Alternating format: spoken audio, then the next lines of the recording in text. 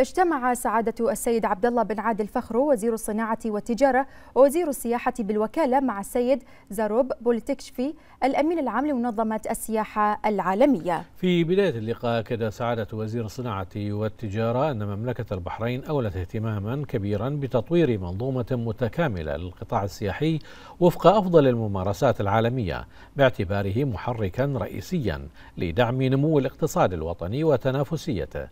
وبحث الطرفان خلال الاجتماع دور قطاع السفر والسياحة في انتعاش الاقتصاد العالمي وضرورة بناء أساس أكثر شمولا واستدامة لنمو القطاع السياحي وزيادة دور العوائد الإيجابية لهذا القطاع على المجتمعات والأفراد والشركات الصغيرة والمتوسطة بشكل خاص إضافة إلى تسليط الضوء على مقومات الجذب السياحي والتعريف بما تتمتع به البحرين من عوامل سياحية وتراثية وثقافية وعائلية تجعل منها وجهة رائدة للسياح.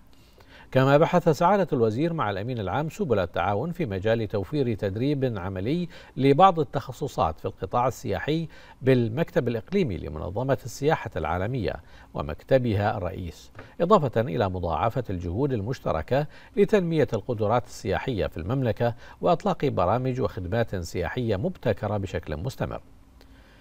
وأكد فخر حرص الوزارة على بناء جسور شراكة مثمرة مع مختلف المنظمات الدولية المعنية بالسياحة وفي مقدمتها منظمة السياحة العالمية والتزامها بمواصلة دعم جهود المنظمة في تفعيل الخطط والاستراتيجيات لانتعاش القطاع السياحي بدول المنطقة.